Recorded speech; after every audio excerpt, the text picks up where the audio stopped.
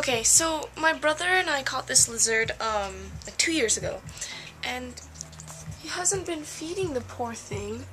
So if we can get like 50 or 100 people to let this lizard go, we'll let it go because it, it could survive. My brother hasn't been giving it crickets. You know, I'm not gonna go. I don't have money to go drive down to the store and get it food.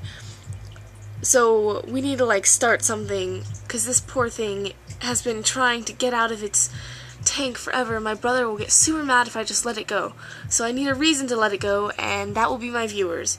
So please, guys, the thing needs to be let free. It's suffering and it's so small and if it could live out into the wild it would it would be probably so happy. So please tell everyone about this, post comments, everything.